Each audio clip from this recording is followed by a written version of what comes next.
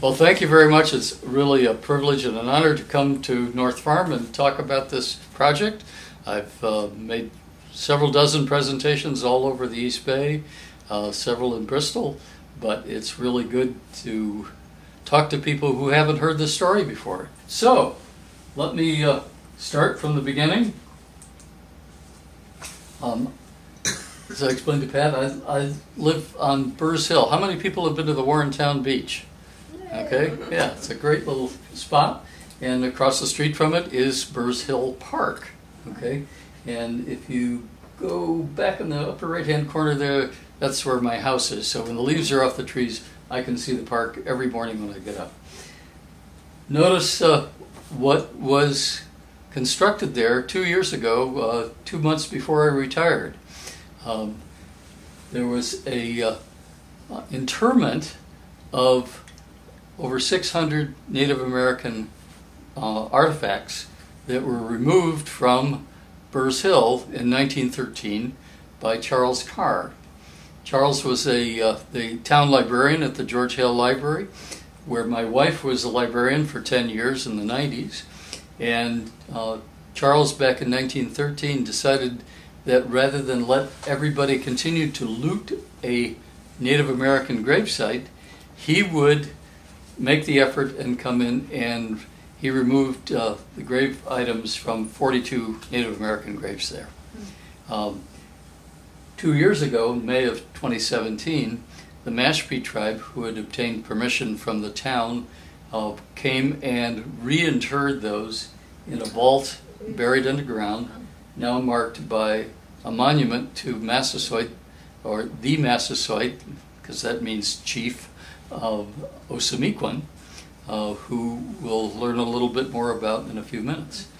That got me very interested in what was going on because it was in, literally in my backyard.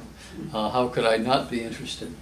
And um, I met the, uh, the woman in the lower left photo, Helen Jader, uh, who had a, a, very great interest in preserving uh, the history of this area. Uh, and she came up with the idea of creating a Sowams heritage area. Now, Sowams, if you're not from Barrington, you might not recognize uh, the name, but that means southern area. It was the native area where Osamequin, or the Massasoit, who met the Pilgrims in 1620, where he lived. Okay, so he lived, I, I think, probably more spent more time over in Tyler Point and Barrington, but uh, if you go by the uh, Warren Town Hall, you will see a frieze up above the door that says Sowams 1621. Hmm. And it has a Western Indian on there, but uh, back in 1898, that was what they conceived of as the home of the Massasoit. And so Warren was essentially named as the home of the Massasoit at that time. Um, and Helen said, uh, we ought to do something to honor him and to help preserve this area uh, that has been radically changed in the last 400 years. So I had done a, uh, a, little digging about 15 years prior um, around the King Philip War. Anybody heard of the King Philip mm-hmm. War? Yep. Okay, because I'm not going to mm-hmm. tell you a whole lot about it. Uh, it's long and complicated, but in any case, uh, uh, there was a well site, the Hugh Cole Well. He was the first settler in Warren, uh, behind the Kickemuit Middle School. And the plaque, the bronze plaque that had been put there in the 1920s, had been removed. Uh, so I worked with uh, some family members and we got a new plaque, not made out of bronze, it looks like that, and replaced that on the stone that you see me standing next to there, um, and had a little ceremony. Uh, that was about uh, seven or eight years ago. Uh, so that was my first taste of early history. But it wasn't until I met with Helen and heard her presentation that I really began to understand that there was a lot more to local history than just the King Philip War. I'm going to play you a little video that Helen did, and if things work out right here, you'll get to hear it. And this is just 30 seconds of a four minute video that's on the website. You can hear the whole thing. It can be argued that Sowams is the pivotal place of cultural exchange between indigenous people and colonizing settlers in North America. Few people realize that there was a peace treaty between the Pokanoket tribe and the Puritans established around March 21, 1621, which lasted over 50 years. One idea to consider is the establishment of a Sowams National Heritage District, which could provide a framework for an appreciation of Sowams and the role of the Pokanoket in the heritage of our country. A Sowams district could provide an encompassing approach featuring the essential cultural, natural, scenic, historic, and recreational open spaces of Sowams in a way that celebrates this layered history for residents and draws new visitors. If we begin now, we could ensure that the Sowams Heritage District is well established before the 400th anniversary of the Peace Treaty in 2021. Okay. I don't need to say anything more. She summed it all up in 30 seconds there. Okay. What she was after was basically creating a new district um, that reflected the uh, uh, the region that was occupied by uh, Native Americans. Now, if you're European descent, you think, well, the only people who were here were us, right? We came here. There wasn't anybody else living here. Well, you would be very mistaken. There were literally 5 million people living across North America at, in 1620, and about 100,000 people in New England at the time. Very well established, and those folks had been here uh, for about 12,000 years. Okay, so long before the pyramids or long before the Acropolis in Athens, etc., there were there was a whole civilization uh, complete with their language and traditions uh, who had occupied this area for that time. So in 1620, uh, there was an encounter between these two populations. These three maps give you some orientation to this. The, the top left map is one by Thomas Bicknell in 1908. Uh, he was the uh, Barrington resident who was head of the Department of Education for Rhode Island, who wrote a very extensive book on Sowams and argued that uh, the native uh, land here, uh, which was transferred uh, to the English settlers over a period of time, really has a, a rich history, including some of the names. some you're familiar with, like the names of the Indians, of the, the uh, Metacomet and uh, Massasoit and those names, but also uh, Kasumsit, okay, which is the the peninsula you're on right now. Mm-hmm. Okay, those names have been s- substantially erased from our experience. Okay, but that's what this land was known as. Um, that area, the southern area, is just a portion of the land occupied by the Pokanoket. Now, you have heard the name Wampanoag over and over again. Well, the name Wampanoag didn't come into usage till after 1700, after the King Philip War. If you look at any map prior to 1700, it will say Pokanoket on it. Okay, uh, but the name Pokanoket was erased after the King Philip War as a way to expunge the culture from the area. And the name Wampanoag, which is really a name of the nation of all Indian tribes in Massachusetts and southern Rhode Island, uh, became common usage. So you'll see maps today that show Wampanoag, Massachusetts, Nipmuc, Narragansett, and then Pequot uh, Mohegan. Okay, you're probably most familiar with the Pequots with the uh, with the casino. Okay, but those are the the five major tribes that uh, occupied this area. Uh, but if you erase the name Wampanoag and put the original name Pokanoket, you will be more accurate in terms of your understanding of who those people were who occupied this land. So, 12,000 years, people living along the shores here, right down your street here, okay? There were hundreds of people living successfully for thousands of years, okay?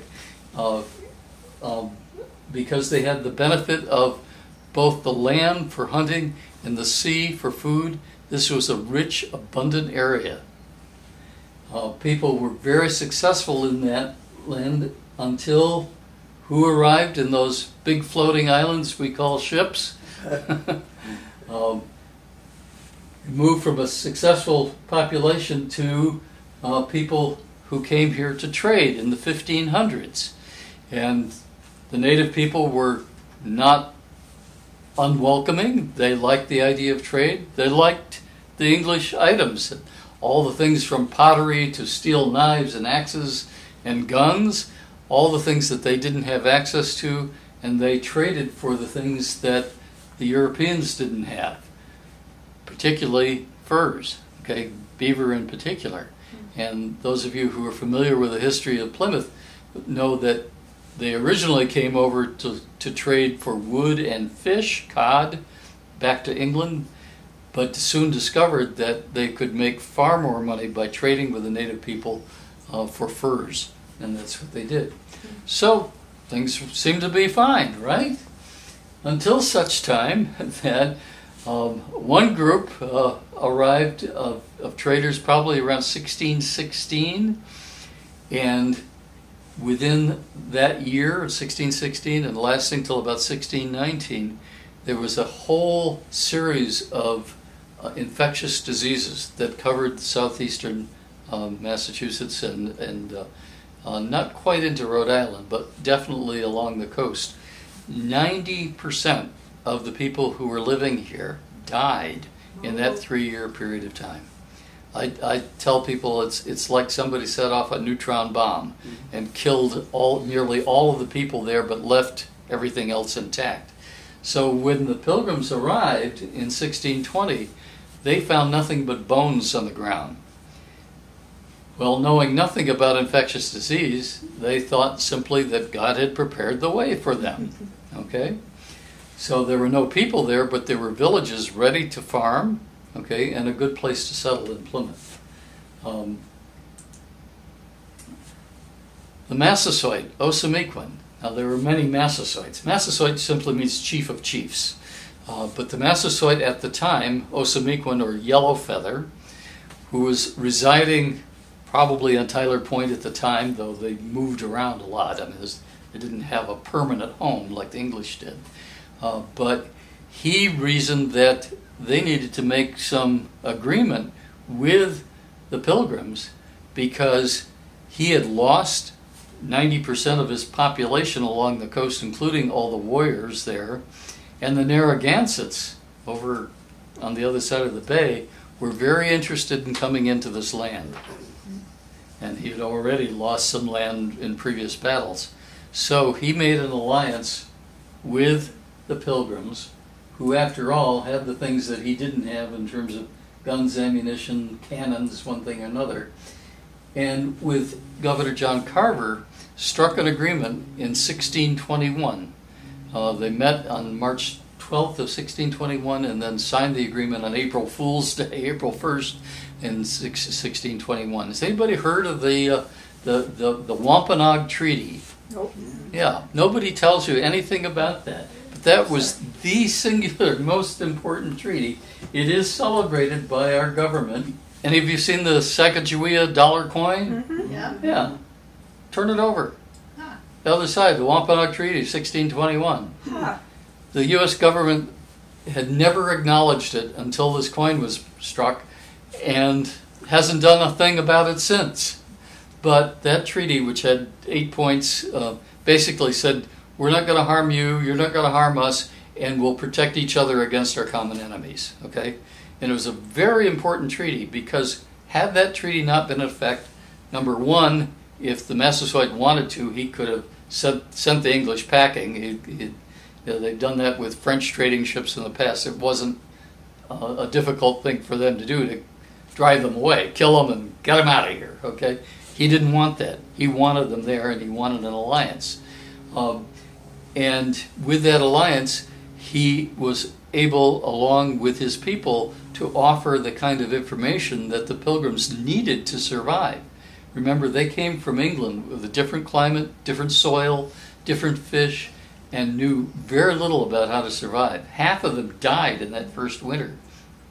But through the help of the Pokanoket tribe, they were able to learn how to successfully farm, how, how to successfully fish and how to hunt. And in that process, we're able not only to survive, but then eventually to thrive. So if it weren't for the help of the Massasoit, we'd probably be speaking Dutch. Okay? Mm-hmm. Ed Winslow on the Mayflower. Okay, he was basically like their chief of staff there. Uh, decided that because of this agreement that was so important to them, that he should come and see this guy uh, Osamequin at his home.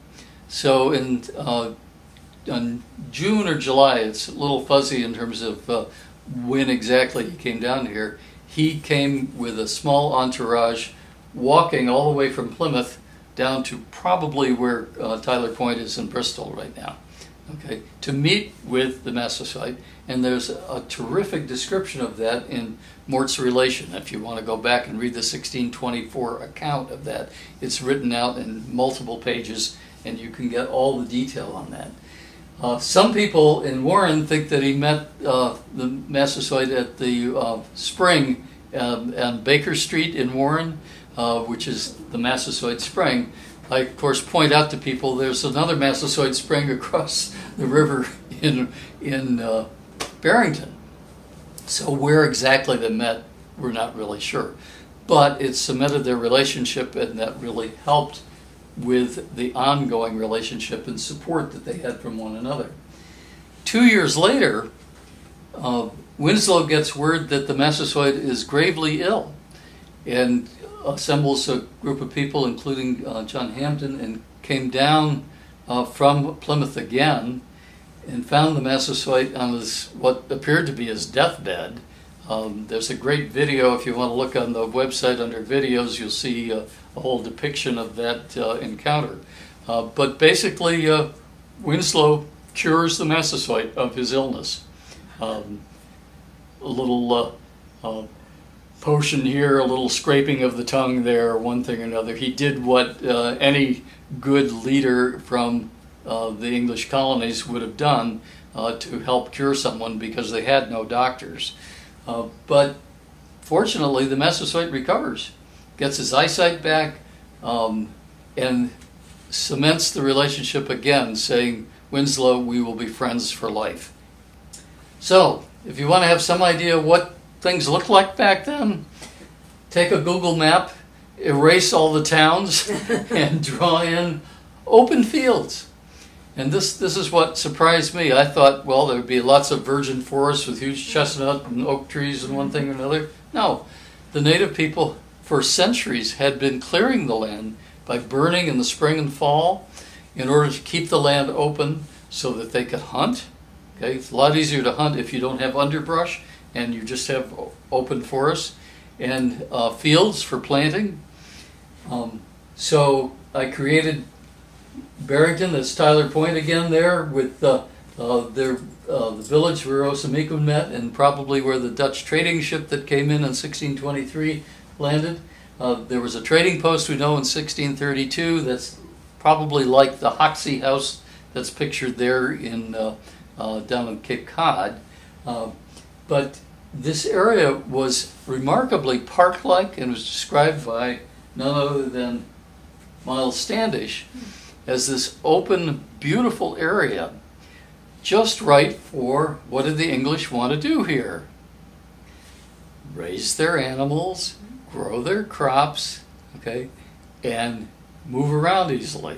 So by having this open land, he discovered this. You know, it's it's like, you know, you, you come into this area and suddenly it's everything you wanted. Okay, so uh, he described it as uh, the garden of the patent. The patent was how he got the land from the king. Um, and the flower, although he misspelled it as F L O U R, of the garden.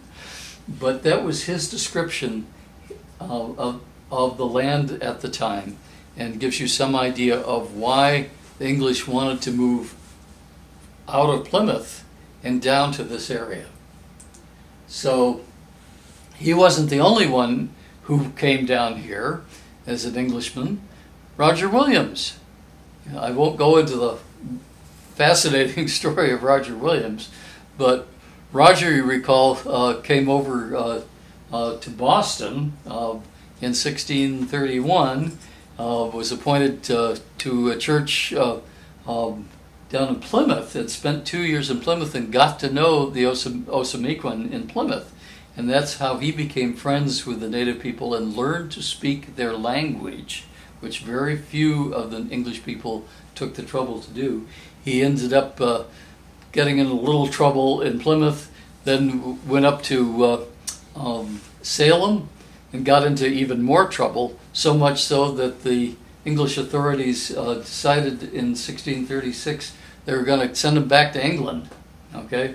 Well, uh, he got word of the fact that they were going to put him on a ship and take him back, so he left out of uh, Salem in January, one of the worst winters of that period, and walked from Salem down to probably, we think, a place um, just over the Warren Line in Swansea called Margaret's Rock.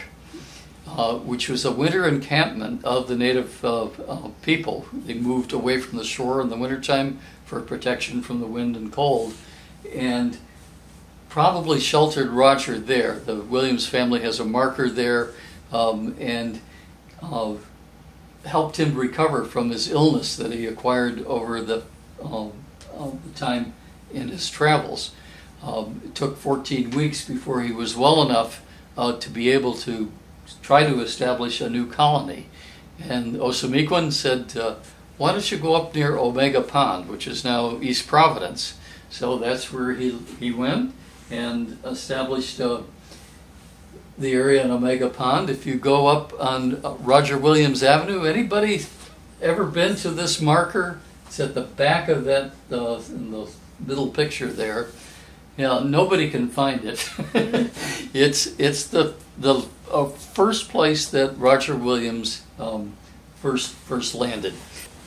So Roger settled there, uh, raised some crops, brought his folks down uh, from uh, Salem until he got word from Plymouth that, that he was in their territory and he had to remove.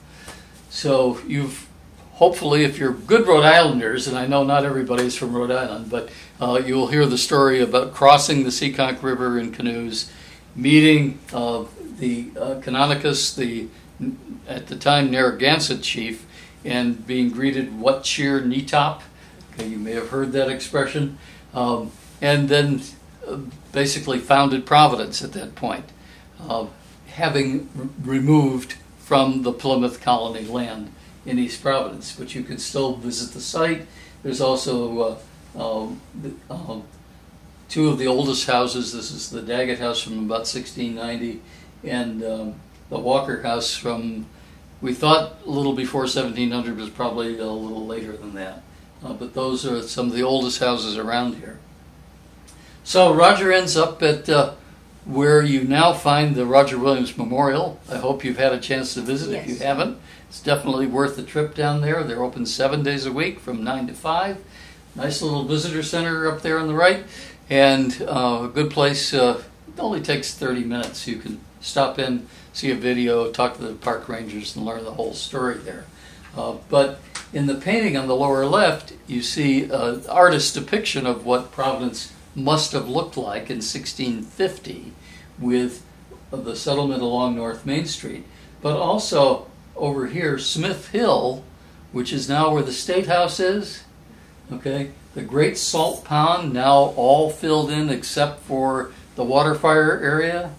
Okay, and then back here in Neutaconkanut Hill. Anybody been there? I never heard of it. Well, yeah, Yeah, it's beyond, oh, beyond uh, Olney Square, Olneyville Square. absolutely. It's the western boundary of Providence, and it's a great view. If you walk up there, you can see the whole area from there.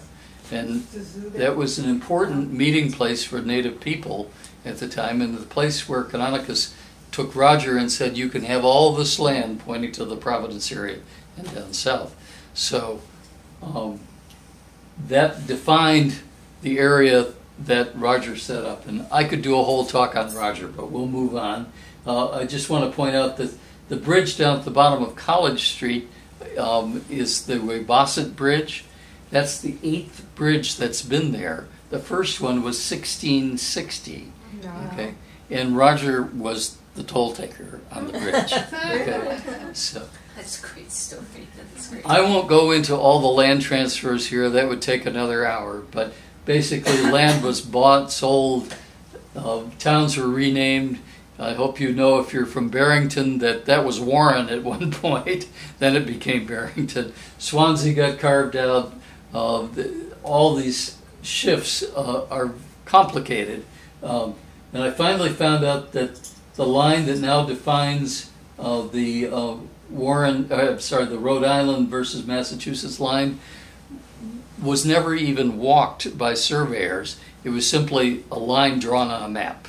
Oh, I guess we'll go here, which is why it's so crazy. Makes no sense whatsoever. How many people have been by the Newman Church in uh, East Providence? How many of you know that it was started, the first settlement in this area, 1643? Wow. Okay? And if you go to the cemetery across the street, you'll see some of the people who were there at the time. They established something called the Ring of the Green, uh, which is a, basically a town common, but a large town common, so that everyone could have a farmland that connected in the front to the common, but into the back to water on places like the Ten Mile River, uh, which if you ever get a chance to go to Hunts Mills, okay, it's a wonderful little park, lots of interpretive signs, and you'll learn all about the first mills that were created there in the 1600s, okay, because English people had to have their grain ground and had to have their fabric woven, okay, so you had to have mills. Not far from there in Rehoboth. Um, anybody explored Rehoboth? If you're not from here, you'll probably never go to Rehoboth. There's no reason to go to Rehoboth. There's, you know, people get lost there. I mean, I think there's a good ice cream store. yeah, there may be way up and around, right? But it's a farming community, and it's used to be wide open because they cleared all the land. Now, with all the trees, you cannot tell where you are. If I didn't have GPS, I would never go there. It's just all these little country lanes you go down, and you don't know where you are. There's no reference point. There's no high point to look at the whole thing. There's no lakes. There's only a couple small rivers that you can't even see, and one thing or another. But that was the original land grant of a 10 by 10 mile area that uh, was formed Rehoboth, where the Newman Church was. It's since been split off. Uh, it's now Rehoboth proper, but Seekonk and then East Providence were all carved out of the original Rehoboth property. But you can find some evidence of the 17th century there, uh, the dam there in the little town. They have some signs about uh, some of the garrison houses that they set up for the King Philip War. Which brings me to the King Philip War. Uh, if you didn't grow up around here, you probably never heard of it. Nobody in this country hears about the King Philip War. It was the bloodiest war in North America. It was the war that defined all wars from then on. It was the war that created our national policy about the removal of Indians all the way to the West Coast. But you don't hear about it. Kids who go to school here get, you know, a paragraph, oh, there was a war. Lasted 14 months, but it redefined everything. Okay?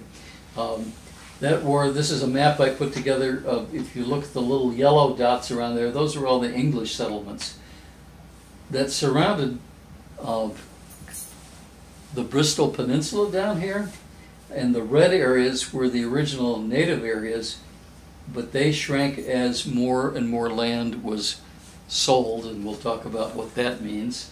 Um, leaving by 1675 only 700 people living right where you are now, okay, um, uh, who were fearful that because the English population was exploding, there were 50,000 English people at the time, um, that they would lose their country. They would lose their way of life, their culture, everything. So, not really by plan, but by happenstance, a war broke out. There were first um, uh, skirmishes um, right on near Child Street uh, in Warren, and then further up Market Street.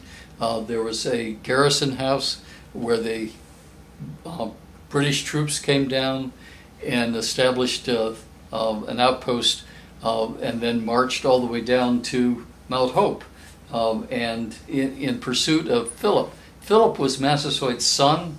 Massasoit had the Massasoit had died in 1660, and from 1660 to 1675, there's a lot of history, but basically it wasn't looking better for the Pokanokets. It was looking worse and worse and worse, and that outbreak looks, for all intents and purposes, as it was a reaction to their uh, losing their land over time. The war uh, was bloody on both sides. Uh, 25 towns in uh, mostly in Massachusetts, but also all of Providence were burned to the ground. Um, the uh, troops um, followed the native uh, uh, people all the way up into western Massachusetts, Deerfield. Their effort was to try to push the, the English people back to England, get them back on the boats, and some people did. They left and went back to England. Others went down to Newport for safety. But by the time that Philip was shot right over here at Mount Hope, and you can visit the site, there's a marker there. Um, the native people were um, either killed, ens- enslaved, or removed from the area. And that's why people say, well, there aren't any Indians around here. I wonder why. Well, there was a very explicit policy to remove native people from this area following the war. From one point of view, it's understandable. It was a vicious, bloody war, and why wouldn't people want to see them gone? On the other hand, these are people who remember who were living here for 12,000 years, who ended up with no rights, no land, okay, nothing to call their own, okay. So here's the marker over at Mount Hope where uh, Philip was shot. Uh, if you go up uh, into Barrington at the end of Barneyville Road, you'll find a marker for the Miles Garrison. Um, that's a picture. It's since been removed, but uh, uh, you can find some of that evidence there. Um, up further in Rehoboth, you'll find Anawan Rock, uh, which was the place where Anawan, who was Philip's lieutenant, was captured uh, following the war. And then uh, Benjamin Church. You've heard of Benjamin Church Manor down here.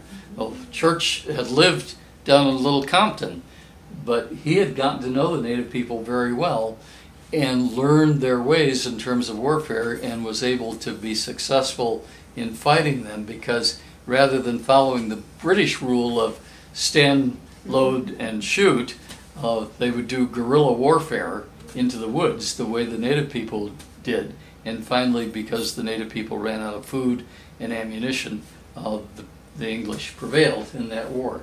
And that finally ended um, in August of 1676.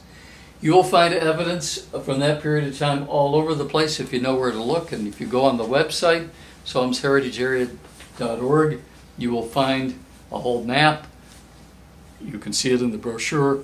These are all kinds of places burial grounds of people buried there before 1700. The ancient Little Neck Cemetery over in Riverside, great place to visit. Uh, the the, uh, Tom Willett, the former mayor of New York City, twice, is buried there, along with Elizabeth Tilley, who has a fascinating story. It should be in the movies at some point because Elizabeth uh, came from England um, on the Mayflower in 1620, l- managed to survive all that time, survived through the war, and lived in Riverside until her death just prior to 1700 uh, and is buried there. Uh, what a story she would have been able to tell. Okay, um, Serpentine Road and, and Warren's got another cemetery. Uh, Tyler Point has a, a cemetery, etc. Uh, there are farms around here from that period of time. Um, down here at the bottom is uh, the um, um, Chase Farm in North Warren on, off of uh, Birch Swamp Road. It's a King's Grant 1697. Okay, it's been in the same family all that time. Okay, Brigham Farm up in East Providence. Here's the Key Farm, also in Touisset. Okay, from the 1600s. Okay, so some things haven't changed in that time if you know where to look. As a lot of natural areas. Here's uh, Sowams Woods over in Barrington. beautiful area with Echo Lake. If you ever get a chance to walk around it, here's uh. Uh, if you ever go to the Audubon area there, uh, the Hamden Meadows Trail, and the Weeposset Preserve. Anybody been there? It's in Bristol. It's down off of Narrows Road. Great place to hike and walk into the woods, and you can see things the way they were 400 years ago. Along Market Street in Warren, you know where Johnson's Market is on Route 136? Yeah. Okay. The southern end of his property, that where the uh, Warren Swansea line crosses, is this large rock. And if you're going south, it'll be on your right. That's King's Rock. Well, what happened on King's Rock? Native American women went up there and ground corn by rolling a large stone on a groove down the center of the rock that you can see, and you can walk up there and take a look at that. Tim owns that part, of that end of the rock, and he's more than welcome to, to have people come there and take a look. Across the street, anybody ever notice that large boulder sitting on a um, bedrock outcropping? It's hard to see right now this time of year because there's a lot of uh, vines and brush and stuff in front of it. But if you notice that, what's kind of interesting about that? You see a lot of boulders like that around? No. Huh? No. Okay. Uh, the geologists will tell you that's that's a glacial erratic. Okay, deposited there by the glaciers. You know, they they rolled stones along, and then the ice melted, and those big bowl. And I understand that there are lots of places where that's the case. But notice what's underneath that rock. Another rock. Yeah. Did the glacier put that rock there? I don't think so. That's called a perched rock or a balanced rock, and it's on bedrock for a purpose because native people would put rocks like that. You get 20 strong guys, and you can roll that rock from wherever they found it and put it up there because on bedrock, you can rock the rock back and forth. It's a drum rock that can be heard for miles around. And it's a connection between the underworld, not hell, the underworld that they believed, and the sky, because they were very much oriented in terms of stars and positions of stars. It's also on top of something called Sachem's Knoll. And if you're up there, you can see the blades of the um, turbines at Allen's Point in Providence with your naked eye. Okay, it's easy to see them; they're right there. okay, this was a sacred place, and we know that they used to have ceremonies and gatherings there. It was also the area that the, the, the English uh, soldiers, militia, marched through at the start of the King Philip War. Very important place. Nobody knows a thing about it. Um, if you go behind Swansea Town Hall, you'll find Abrams Rock. This is uh, King Philip's seat up in Mount Hope, uh, which you can access if you go to the farm and ask them. Have to go during weekdays and say, "I want to, I want to walk up to uh, King Philip's seat." They'll have you sign up permission form because it's on Brown University property, and you can go there. This is at Neutaconkanut Hill, where the four tribes, Massachusetts, Nipmuc, um, uh, uh, and Narragansett, would meet for tribal councils. Okay back to Burrs Hill. If you go over there, stop at the town beach there and walk up. You can't really see it until you get up on top of the, the mounds there, which I always thought were Indian burial mounds. Well, it's true that there were Indians who were buried there, but they didn't create the mounds. In fact, all of Burrs Hill was mounds at one point until the railroad came through in 1854 and took a lot of the sand and gravel out of that area to build the railroad south of there. And then the town in 1921 acquired the land and leveled it to make a ball field. But fortunately, they did not dig up the mounds that are still there where the burials took place that um, Charles Carr uh, exhumed in 1913. Um, when they were put back into the vault here, uh, there was a celebration by the Mashpee tribe who had done the collecting, and uh, it was a very important thing for them to have their their ancestral leader, the Massasoit Osamequin, return to the grave where he was uh, originally buried. So, just to finish up here, um, Bristol. laid out in 1680. You all know the, the house uh, just uh, along Hope Street. You'll recognize this one? Yeah. Across some Sip and Dip there, you know. Uh, okay, it's apartments. It's not, it hasn't been restored. Hopefully someday that'll happen. But that was the first house ever built in Bristol, 1680. I always thought that was a joke. Oh, 1680? No, it can't be. It is. The wood from that house came from England. No. They didn't have the mills to create it here, so they brought it over on a ship. Okay, um, and that at one point was Silver Creek. Okay, and it had a, this is what it looked like about turn of the 20th century, and that was the home of the original um, pastor for the church. You could not have a town without a church. You couldn't have a church without a pastor. So, what they did to create a town in 1680 was to first build a parsonage and then import Nathaniel Bosworth over to be their pastor. And four years later, they built the first meeting house, uh, basically the first church on the town common. Um, there's no pictures. This is somebody's recreation of what they think it looked like. Um, if you go in the museum of the church, and we're about to uh, put us, we just got approval to put an interpretive sign out in front of the church, so you'll know more about it when you go there. Uh, but inside the church, um, if you ask to see get, to get in the museum, you'll see uh, the pew end from the church in 1684. Uh, the chalice uh, used for communion there. Um, some of the early pastors, they aren't really buried there. That's just their grave markers that were moved from the town common. They left everybody in the town common and just moved all the grave markers. Okay, so even even uh, when you go across the street there, uh, you'll see the gravestones nicely lined up. Well, they weren't that way originally. The bodies are still under the town common, under the playground there. Okay, That's Um, yeah. That's true. Well, that's you know, uh, when they started out, they didn't have any idea that you know needing a you know cemetery, so people got buried in all kinds of places.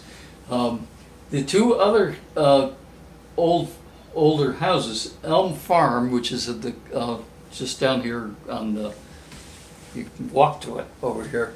Uh, this portion in the back uh, was from about um, uh, 1695.